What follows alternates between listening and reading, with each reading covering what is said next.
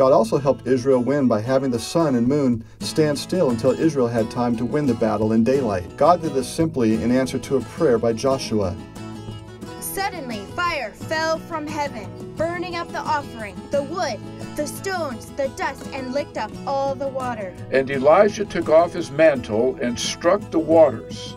The river divided so they could cross on dry ground. Esther was very beautiful, and when the king's men gathered all the lovely young maidens, Esther was taken with them. I found that the priests had given a side room in the temple to Tobiah. I threw out Tobiah's things and filled the room with the vessels of God's house. Josiah became king when he was only eight years old. And he hired evil men to help kill all of his brothers.